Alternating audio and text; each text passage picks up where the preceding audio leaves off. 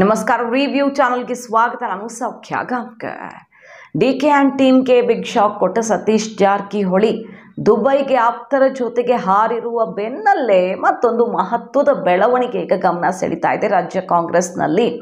ಒಂದು ಕಡೆ B J P ನೋಡಿ ಬೆಳಗಾವಿ ಜ್ವಾಲೆಯಿಂದ ಏನಾಗುತ್ತೆ, ಸರ್ಕಾರದ ಕಥೆ ಅಂತ ಭವಿಷ್ಯ ನೋಡುತ್ತಿರೋ ಹೊತ್ತಲ್ಲಿಯೇ ಈ ಬೆಳವಣಿಗೆ. ಮಾಹಿತಿ ಮುಂದೆ ಇಡ್ತಾ ಇದ್ದೀವಿ ಮಿಸ್ ಮಾಡೋದು ನಮ್ಮ ಚಾನಲ್ನ ಸಬ್ಸ್ಕ್ರೈಬ್ ಮಾಡಿ, ಹಾಗೆ ಬಗ್ಗೆ ನಿಮ್ಮ ಅಭಿಪ್ರಾಯ ಕಮೆಂಟ್ ಮಾಡಿ ತಿಳಿಸಿ.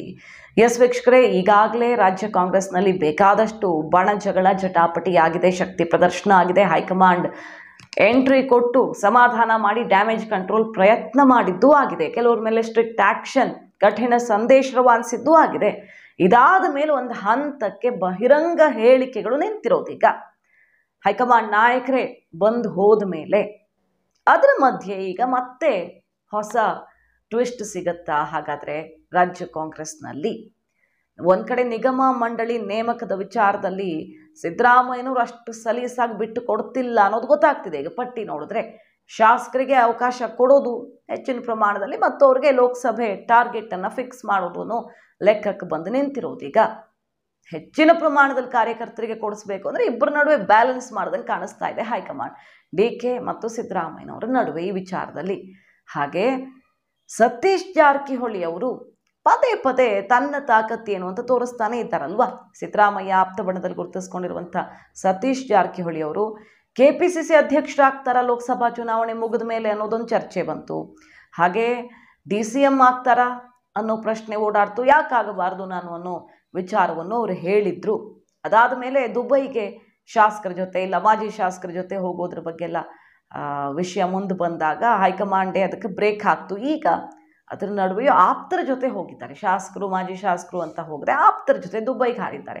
ಇದೇ ಹೊತ್ತಲ್ಲಿ ಸೌದತ್ತಿಯ ಶಾಸಕ ಸತೀಶ್ ಜಾರಕಿಹೊಳಿ ಮುಂದಿನ ಸಿ ಎಂ ಅಂದಿದ್ದಾರೆ. ವಿಶ್ವಾಸ್ ವೈದ್ಯ ಅವರು, ಶಾಸಕ ವಿಶ್ವಾಸ್ ವೈದ್ಯ ಅವರು ಬೆಳಗಾವಿಯ ಸಮಾವೇಶವೊಂದರಲ್ಲಿ ಬಹಿರಂಗವಾಗಿ ಇಂತಹ ಸ್ಟೇಟ್ಮೆಂಟನ್ನು ಕೊಟ್ಟಿರೋದು ಉತ್ತರ ಕರ್ನಾಟಕ ಭಾಗದಲ್ಲಿ ಒಳ್ಳೆ ಹಿಡಿತಾ ಇರುವಂಥ ನಾಯಕರು.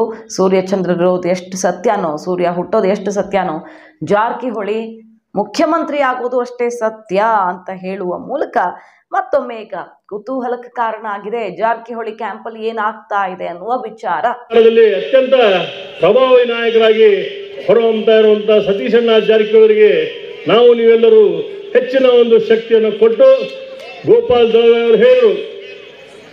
ಈ ಭಾಗದ ಗಡಿನಾಡಿನಲ್ಲಿ ಒಬ್ಬ ಪಕ್ಷಾತೀತವಾಗಿ ಒಬ್ಬ ರಾಜಕಾರಣಿಯನ್ನು ನಮ್ಮ ಕರ್ನಾಟಕದ ಮುಖ್ಯಮಂತ್ರಿಯಾಗಿ ನೋಡಬೇಕನ್ನುವಂತ ಮಾತನ್ನ ಹೇಳಿ.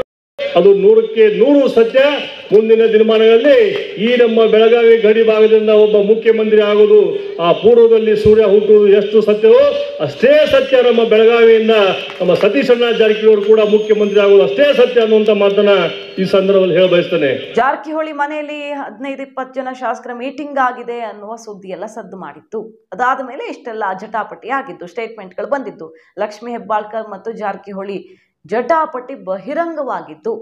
ಈಗ ಜಾರಕಿಹೊಳಿ ಕ್ಯಾಂಪ್ನ ಶಾಸಕರು ಮುಂದಿನ ಮುಖ್ಯಮಂತ್ರಿ ಸತೀಶ್ ಜಾರಕಿಹೊಳಿ ಅನ್ನೋದ್ರಲ್ಲಿ ಡೌಟೇ ಇಲ್ಲ ಅಂತಿದ್ದಾರೆ. ಅವ್ರ ಬೆನ್ನಿಗೆ ಸಮುದಾಯದ ಸ್ವಾಮೀಜಿ ಕೂಡ ನಿಂತು ಬ್ಯಾಟ್ ಬೀಸಿದ್ದನ್ನು ನಾವು ನೆನಪು ಮಾಡಿಕೊಳ್ಬಹುದು. ಈಗ ಶಾಸಕರು ಬಹಿರಂಗವಾಗಿ ಹೈಕಮಾಂಡ್ ಎಚ್ಚರಿಕೆಯ ನಡುವೆಯೂ ಕೂಡ ಸಿಎಂ ಸತೀಶ್ ಜಾರಕಿಹೊಳಿ ಕೂಗನ್ನ ಮೊಳಗಿಸಿದ್ದಾರೆ. ಅಲ್ಲಿಗೆ ಲೋಕಸಭಾ ಚುನಾವಣೆ ಬಳಿಕ ಮುಖ್ಯಮಂತ್ರಿ ಕುರ್ಚಿಗೆ ಡಿ ಕೆ ಶಿವಕುಮಾರ್ ಅವರು ಟಾರ್ಗೆಟ್ ಫಿಕ್ಸ್ ಮಾಡಿಕೊಂಡಿದ್ರೆ ಅವ್ರ ಜೊತೆಗೆ ತುಂಬ ಜನ ಇದ್ದಾರೆ. ಈಗಾಗಲೇ ಹೇಳ್ತಿರಲ್ಲ ರಾಜಣ್ಣ, ಎರಡು ಡಜನ್ ಎರಡು ಡಜನ್ ಗಟ್ಟಲೆ ಜನಕ್ಕೆ ಕಾಂಗ್ರೆಸ್ನಲ್ಲಿ ಡಿ ಸಿ ಎಂ ಆಗೋದು ಅಥವಾ ಮುಖ್ಯಮಂತ್ರಿ ಆಗೋದಕ್ಕೆ ಅರ್ಹತೆ ಇರೋರಿದ್ದಾರೆ. ಬಹಳ ಶಕ್ತಿಯುತ ನಾಯಕರಿದ್ದಾರೆ. ಡಿ ಕೆ ಶಿವಕುಮಾರ್ ಅವರು ಅದರಲ್ಲಿ ಒಬ್ಬರು ಅನ್ನುವಂಥ ಸ್ಟೇಟ್ಮೆಂಟ್ ಕೊಟ್ಟಿದ್ದನ್ನು ನಾವು ನೆನಪು ಮಾಡ್ಕೊಳ್ಬಹುದು. ಇದ್ರ ಬೆನ್ನಲ್ಲೇ ಈಗ ಜಾರಕಿಹೊಳಿ ಅವರು ಮುಂದಿನ ಸಿ ಎಂ ಕೂಗು ಮತ್ತೆ ಮೊಳಗೋದಿಕ್ಕೆ ಶುರುವಾಗಿದೆ.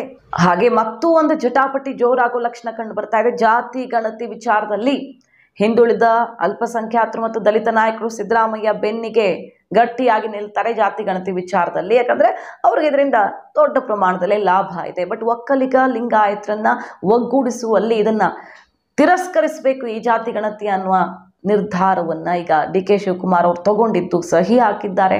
ಬಹಿರಂಗವಾಗಿ ಅದು ಈಗ ಹೊರಗಡೆ ಬಂದಿದೆ. ಅವರು ಸಹಿ ಹಾಕಿ ಅಖಾಡಕ್ಕೆ ಇಳದೇ ಬಿಟ್ಟಿದ್ದಾರೆ ಜಾತಿ ಗಣತಿಯ ವಿರುದ್ಧ ಅಂತ.